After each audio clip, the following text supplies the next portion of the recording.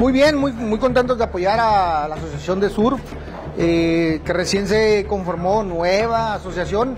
Eh, están trabajando y tienen mucho interés de promover el surf y sobre todo con este abierto de surf, eh, el poder captar turismo de Estados Unidos, invitarlos a que, a que participen en esta actividad que por parte de las autoridades nuestras parecía que está un poquito en la esquina abandonada. Este, la verdad es que muy tranquilo, eh, traemos organización no nada más, no nada más de eh, esta semana, sino ya tenemos varios meses eh, con este tema y organización, con, con, coordinación con el gobierno del estado, con el Instituto Nacional del Deporte y muy tranquilos porque la verdad es que una excelente organización por ambos y pues estamos listos. La verdad es que muy bien. Yo la verdad es que estoy impresionado con los apoyos que he tenido. Normalmente siempre se ha escuchado de que el gobierno no apoya.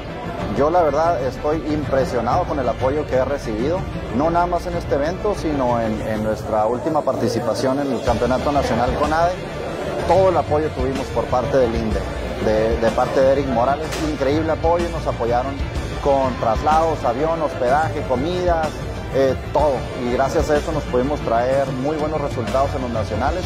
Y ahora con este evento, pues es lo mismo.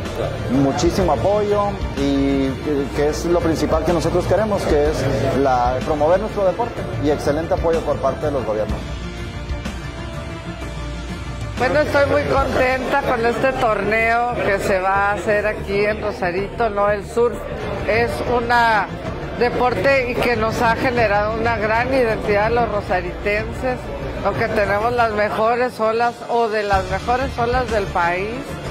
Y estamos pues muy contentos porque es un torneo internacional que van a venir pues de muchas partes, esperamos que pues se inscriban a este torneo que va a detonar la visita, el retorno del sur a Rosarito con un incentivo de 10 mil dólares en una bolsa de premios que es muy, muy importante.